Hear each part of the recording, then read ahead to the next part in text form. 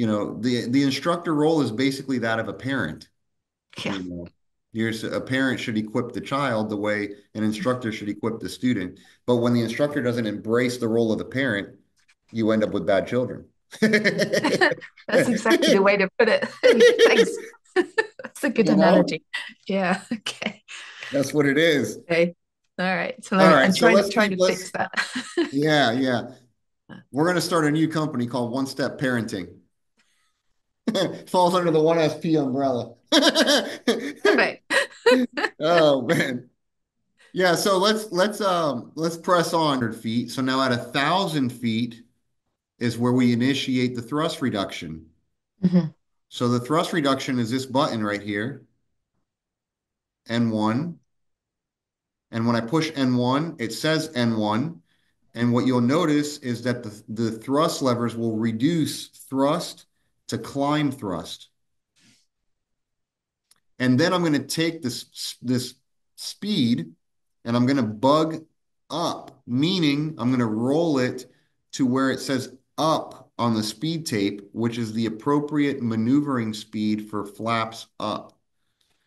Now, that speed usually is 210 on a more loaded airplane than what we see here. So let's say I just roll this up to 210, and what you'll see is if you watch the the flight director bar, see the flight director bar here, it, it's going down, Yeah. right?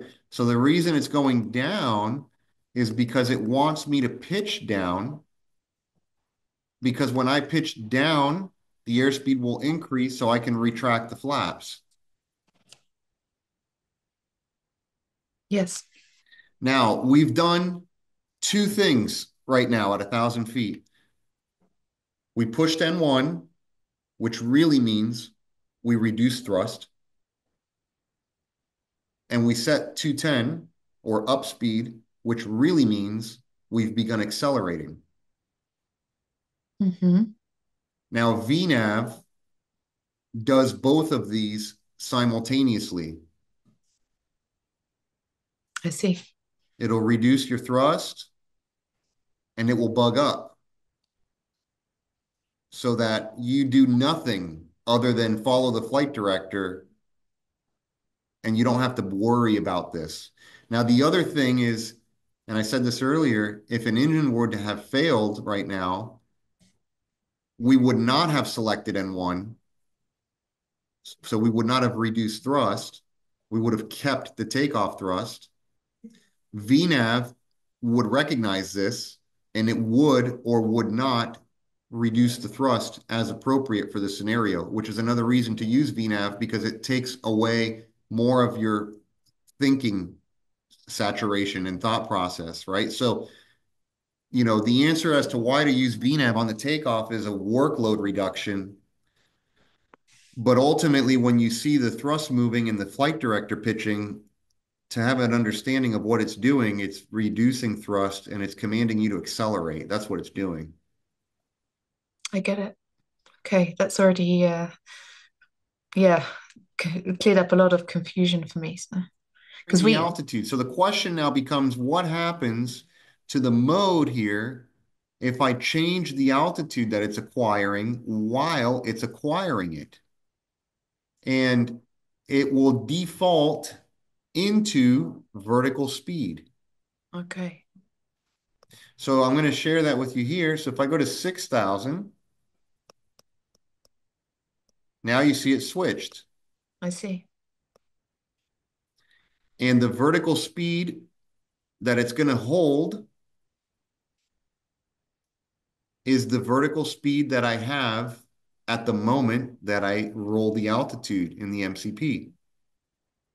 Mm. So, I just changed it to 6,000. My vertical speed is 1,900 feet a minute. So look what it set here, I see. 1,900 feet a minute. Make sense? Yeah. And then it's going to keep this vertical speed unless I change the wheel here. I could always alter it. I could reduce it if I wanted. But it's going to hold this vertical speed until it has to reacquire again 6,000. So in a moment, I'm going to see alt acquire again because now it's going to, there it is again. Now it's recapturing six. right? Now the auto throttle is still an MCP speed. Remember, MCP speed in the auto throttle column means the thrust can vary. So if I change this altitude again, it's going to go back to vertical speed. There's back to vertical speed. And in vertical speed, remember, the vertical speed must be kept constant at, in this case, at 1400 feet a minute.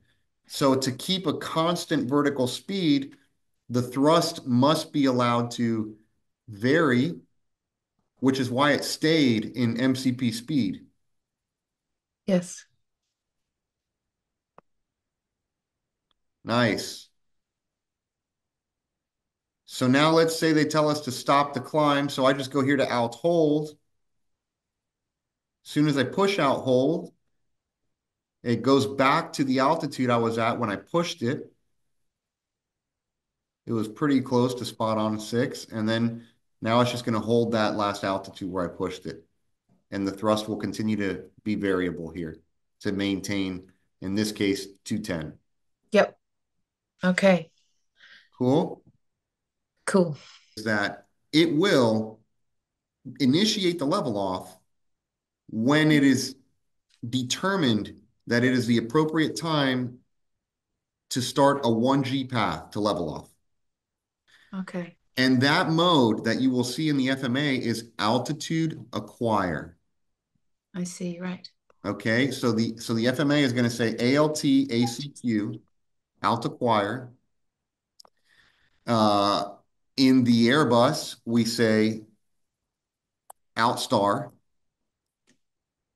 In whatever other airplane, they probably say alt capture. Yeah. It doesn't matter what it says. It's all the Mhm. same thing. Mhm, mhm. It's basically the airplane leveling off. Now, here's, I'm going to take, have you ever, It's so much clearer. I'm really grateful. You've good. You've helped me really a lot, actually. Uh, also, just to get the confidence up, as you said. So yeah, it was it was really good. That's Yeah. awesome. That's awesome. I'm, I'm, uh, I'm happy to hear that.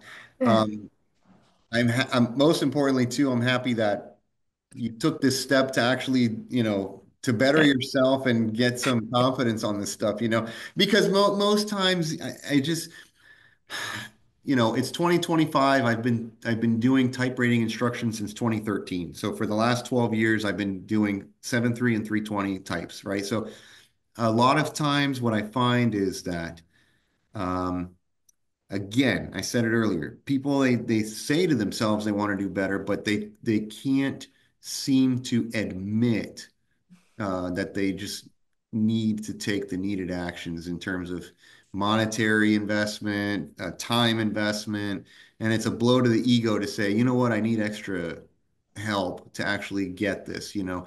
But ultimately, it leads to you being not just more competent, but confident, and you're more sure of yourself so that you don't find yourself up there fumbling through what's what am I supposed to do?